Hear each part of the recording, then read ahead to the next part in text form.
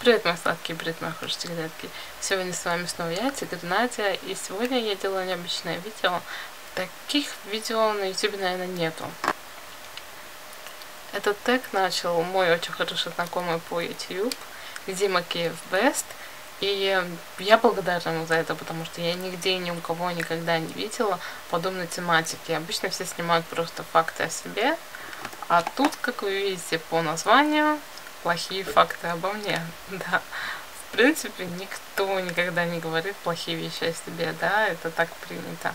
Никто не любит говорить о себе правду. Но я посчитала, что эта тема очень интересная, и мне захотелось сделать такое небольшое видео, где я просто расскажу, поделюсь какими-то такими фактами, не в таком хорошем свете, а в естественном. Я ругаюсь матом, да. И э, я не стыжусь этого, не скрываю этого, и не вижу ничего здесь такого прям ужасного, потому что кто не ругается, вообще есть такой человек, который никогда не ругается, ничего не говорит такого негативного и вульгарного.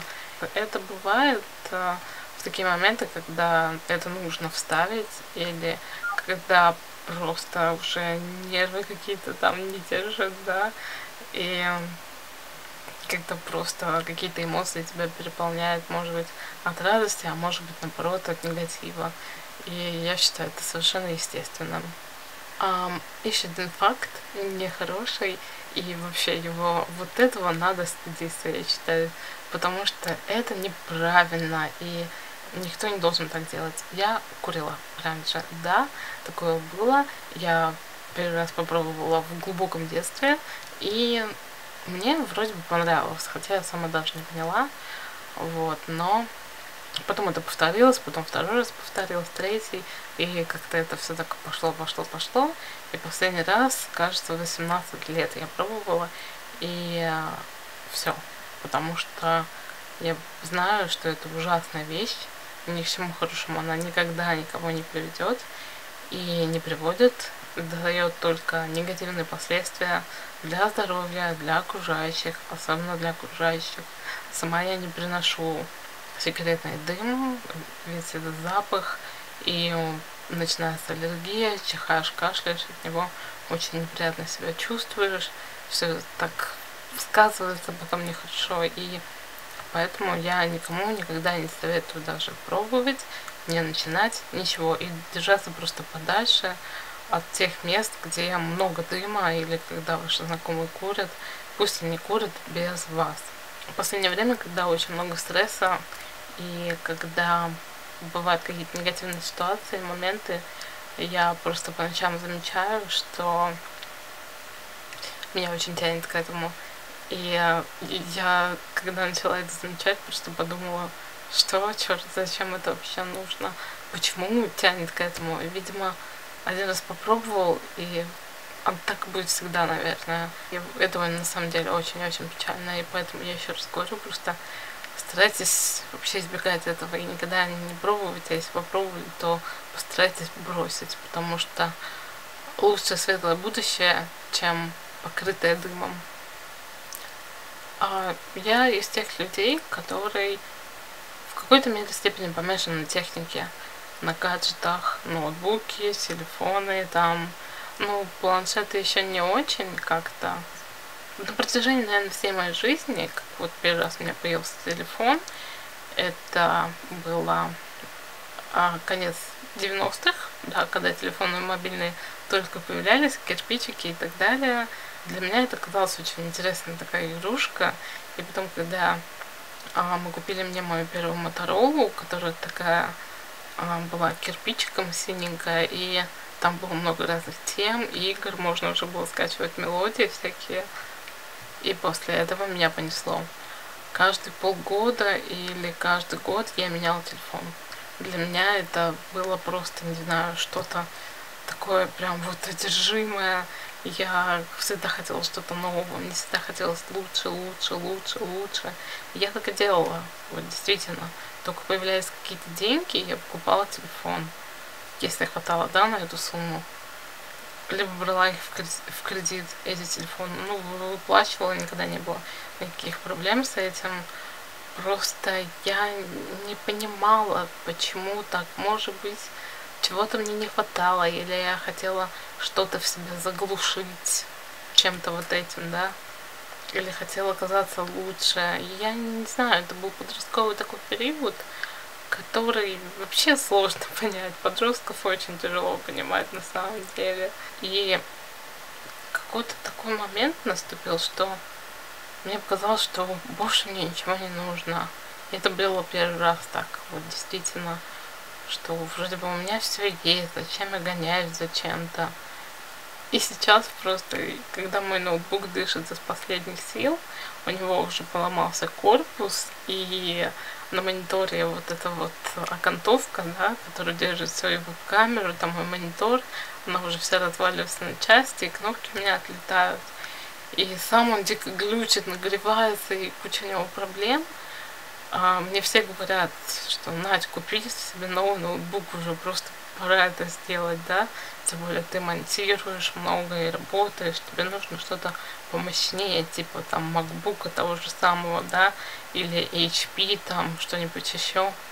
Но я не могу с ним расстаться. Вот действительно, раньше бы я, наверное, побежала бы, действительно купила новый ноутбук, но я не знаю, я мучаюсь с этим. И у него куча минусов после того, как он в таком состоянии стал. Но наконец-таки я стала постоянной в этом плане. И, наверное, у каждого есть вот этот вот момент, когда ты останавливаешься и говоришь себе стоп, независимо в чем.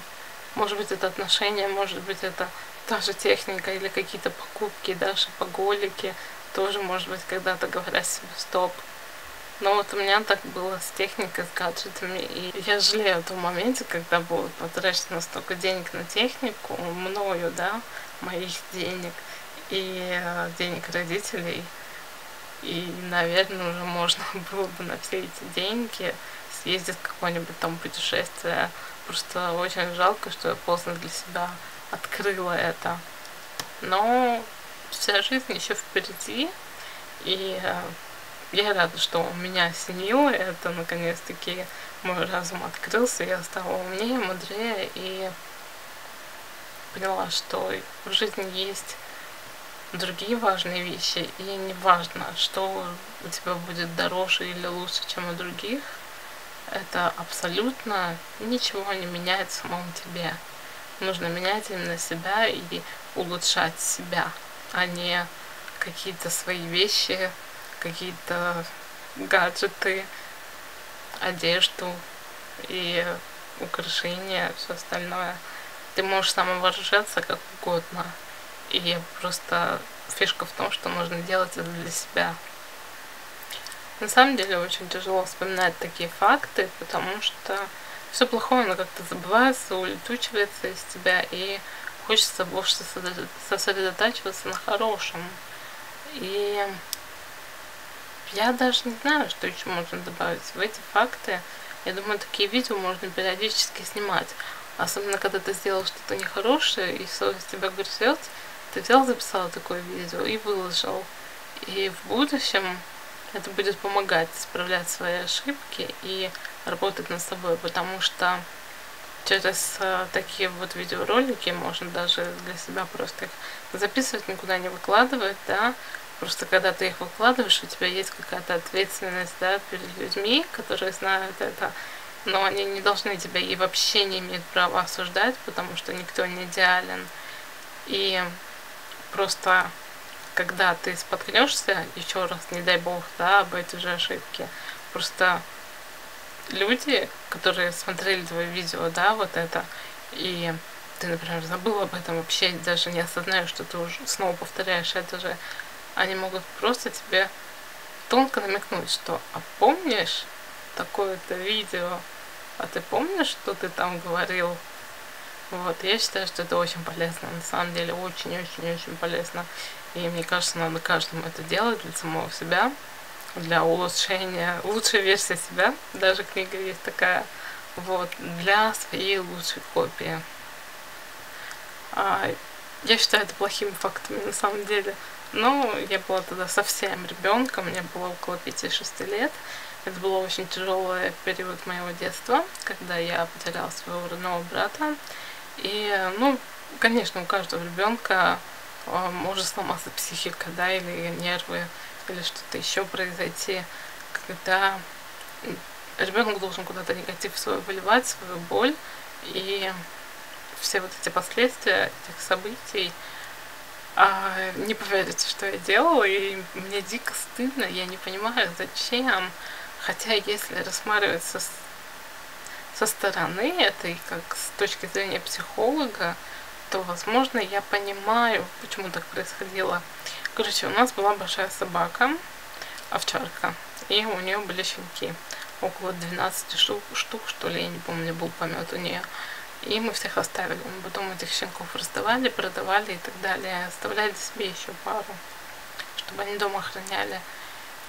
Когда щенки подросли, ну там пару месяцев им было, и они всегда крутились вокруг, и когда что-то происходило такое нехорошее, может кто-то на меня накричал, или кто-то из родных там поругался, или что-то еще сделал, что я делала? Я брала щенка и кусала его за ухом.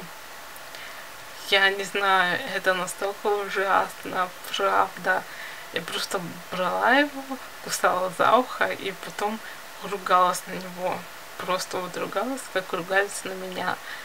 И я вспоминаю комикс, где, я думаю, все видели его, он очень часто в соцсетях плавал, когда, например, а, бабушка кричит на маму, мама кричит на папу, папа кричит там на ребенка, ребенок кричит на кошку, а кошка кричит на куклу. Ну, сами понимаете, да, цепочка идет.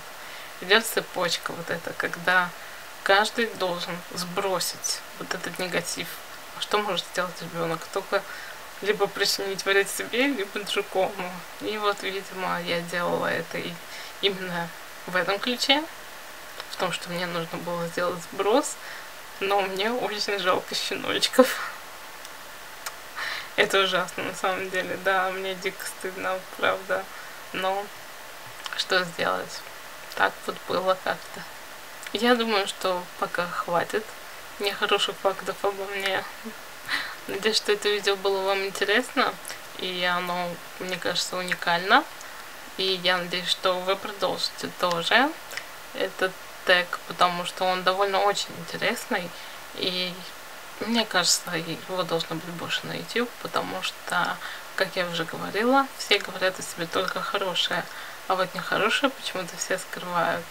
Я думаю, что пора раскрыть свои карты людям и показать настоящих себя, признаться в том, что, может быть, они не хотят признавать для себя самих. И эм, это очень полезно на самом деле. Всех люблю, целую, обнимаю. Спасибо за внимание. Подписывайтесь на мой канал, ставьте пальцы вверх. И пока-пока.